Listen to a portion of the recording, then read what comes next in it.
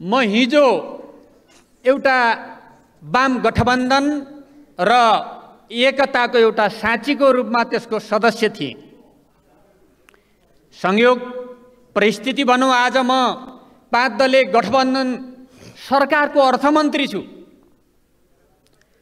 र यो अर्थमन्त्रीको हैसियतले मैले यहाँ विषय राखिरहँदा धेरै विषयहरू छन्। मैले म प्रति उठेका विषयहरूको जवाब कसरी दिन्छु त्यो मेरो दायित्व हो। धेरै विषयहरू छन्। धेरै विषयहरू अहिले विगतका विषयहरू म कोट्याउन चाहन्न। मैले संसदमा आएर बोल्न नपाउने नैतिकता के कारणले गुमाउने गुमाएँ? न मैले सङ्कट परेका जनताको कोरोनाको क्रममा बदमासी गरेँ न मैले करको दर फे दर हेरफेर गर्नु पूर्व कुनै व्यापारीलाई सामान भित्राउने अनुमति दिएँ सूचना दिएँ।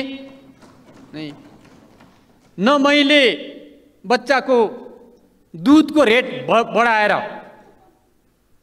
चक्लेटहरूको रेट घटाएँ। के कारणले म अनैतिक भएँ?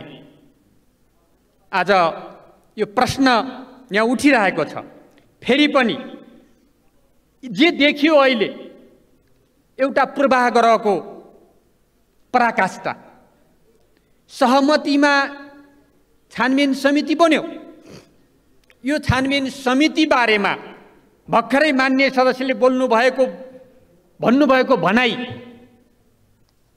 उहाँले आफ्नो आदेश जारी गर्नुभयो आफ्नो फरमान जारी गर्नुभयो र उहाँले एउटा सैनिक नेतृत्वले जस्तै दोषी करार गर्नुभयो।